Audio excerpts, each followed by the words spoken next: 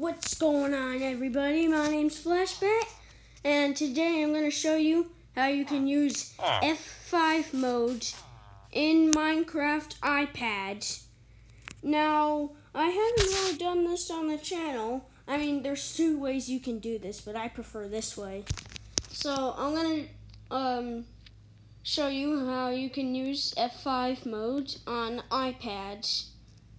So first, uh, well, well, there's two ways to do it. I'm going to show you the way that I'm not doing it. Well, there's two ways to do it. One is you can have two devices. One device is you playing Minecraft on, and the second device controls the F5 mode, but um, the one I prefer is this.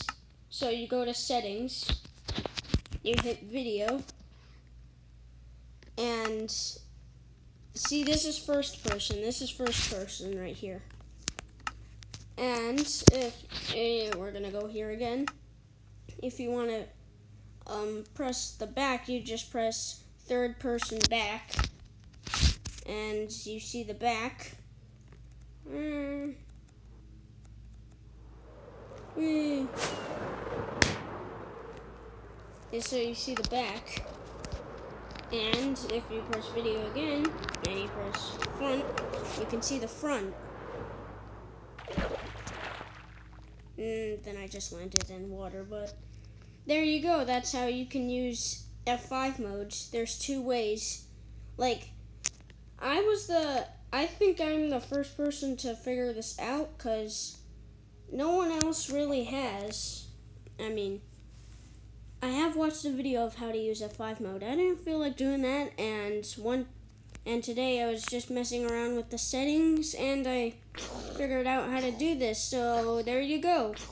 That is two ways to use F5 uh, F5 mode in Minecraft, and you can bring it back to normal. You just press front person uh, I mean first person. You just press first person. And there you go. That's two ways to do it. I hope you guys enjoyed this video. And uh,